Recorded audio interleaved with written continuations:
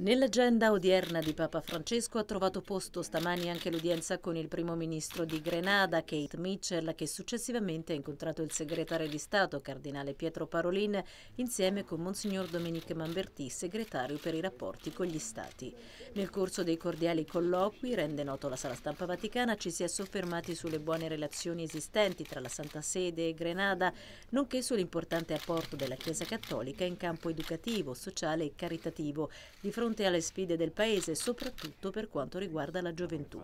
Alla riguardo è stata affermata inoltre la necessità di una cooperazione tra tutte le forze sociali in vista della promozione del bene comune e dello sviluppo del Paese.